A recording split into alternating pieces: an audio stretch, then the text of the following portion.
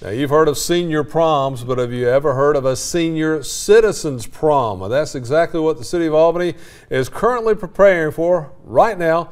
More than 200 couples and singles getting ready for their big night to step out on the town. Well, WALB News 10's Lena Allen is there right now as people have started to arrive in style. And Lena, we see that you are in your fashionably uh, there early uh, in your prom dress. Beautiful. You look beautiful.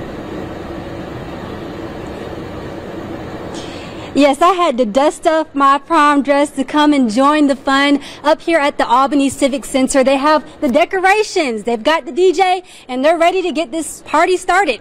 Now, some of these senior citizens that will be here tonight actually have never been to a prom, and that's why event organizer Miss T. Taylor created this special night, and she's here with me now. Miss Taylor, thank you so much for joining me. This is like your her baby. Like this is her baby. Tell me a little bit about what it means to make these dreams come true it feels great to make this dream come true because you know what? The senior have a second chance that they can come out and have a good time. And they did not have a chance to do this back in the day due to finance or different uh, things going on in their family life. But now they can come out with a smile on their face and say look i get to come to the prom and ticket sales were sold out fast this year. How would you tell people that they can get ahead of securing their spot for next year's event?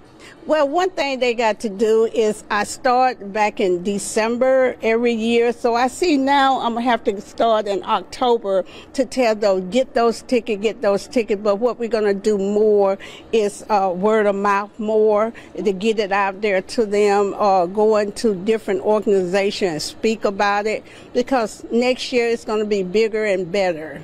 Well, perfect. Thank you so much for sharing all of this with me and that I'm here with you now. I've got to go touch up my makeup to keep up with some of these attendees here. But for now, live in Albany, Lena Allen, WALB, your hometown news source.